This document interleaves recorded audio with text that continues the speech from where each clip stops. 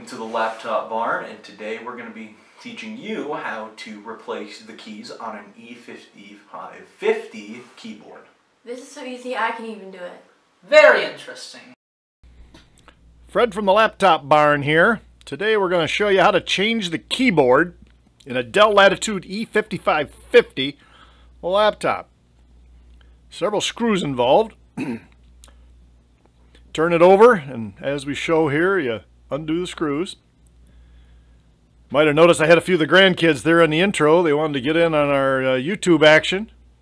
Make them legends in their own time. We'll have a few of them pop up here throughout the throughout the video. Okay, once you get these uh, screws off, use a little pry tool. We use the little small flat screwdriver to, and that back will just pop off. Now you have to remove the battery to get at the screws that uh, you need to do this. So just uh, take the screws out of the battery. You don't have to unhook the cable. And then um, go ahead and turn it back over. Use a little pry tool and you're going to pry up this retaining ring. It's not held down by any screws. It's just press fit in there. So you got to get it started and work your way around. It just pulls off. Be careful. They're pretty pretty tough, but be careful. Now you got uh, several screws to release the keyboard. so we go around and take out these screws. Now again, with your pry tool, just kind of work your way around it. It'll pull up. Whoops, forgot a screw. Don't force it. There you go. Now we got it off.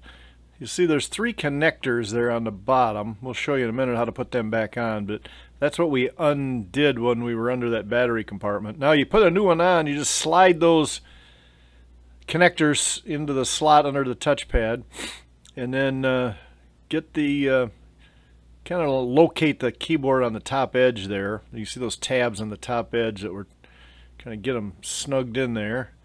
And then it'll kind of snug into place. And once you got it into place, you can put the screws back in. Again, there's a few screws. Not too bad of a part to change out. And yeah, if you spill something on it or keys go bad, did it, you can get bad keyboards. All right, now put this retaining uh, piece back on. It just presses on. So easily, watch how we start in the one corner, kind of work your finger around the edges. It's just snapping into place. If you got it lined up properly, it'll snap in fairly easy. Okay. Now we're going to flip it back over those connectors that we push through the hole, we're going to make sure they're in the connection spot. Drop the connecting cover over them. You see how we're putting those in. There's four of them. Not so conveniently located under the battery.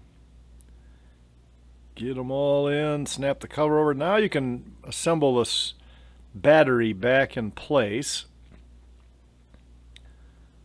couple of screws that hold the battery in place.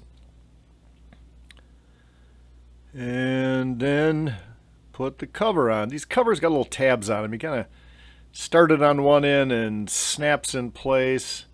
Push on it around. Once you've got it all down level with the case and snapped into place, then you can put the screws in. And that pretty much is the process. The trick there, uh, that retaining, on the, probably the retaining ring that's over the keyboard is the most unobvious thing that you have to, you have to know how to take it off. And you see the trick there is we just pried it off. Wasn't held by any screws. So there you go. You heard it here on the Laptop Barn. Tips to help you out. See, I told you so. Very interesting. From my ankle, just wanna see the light.